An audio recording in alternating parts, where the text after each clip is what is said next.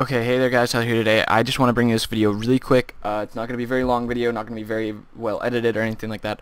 I just don't want you to go waste all your money. This game is $66 Canadian on the Steam store right now, No Man's Sky. Sure, it's, it's super hyped, you know, all this, but if you look, mostly negative, and that's a lot of reviews, like a lot of reviews.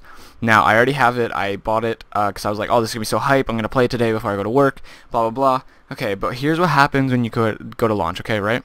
So, first of all, it's laggy as all hell. Like, just watch it. And, like, I just don't want you to all go waste your money. Please. Um, so as you'll see, it's laggy as all hell.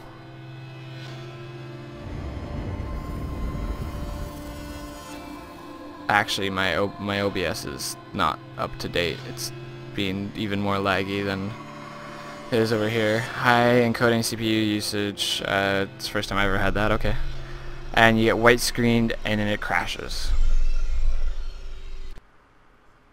Boom. Okay, so basically the game just crashes and it's doing this to a lot of people and they can't find a stable FPS. The game is not working. Please don't go and waste your money um, until it is actually fully released. I just don't want you to waste your money, so please don't do that. And uh, until the game is like actually gonna work, don't buy it. Please. Just please don't buy it. Um, but until the next video, guys, I'll uh, catch you later.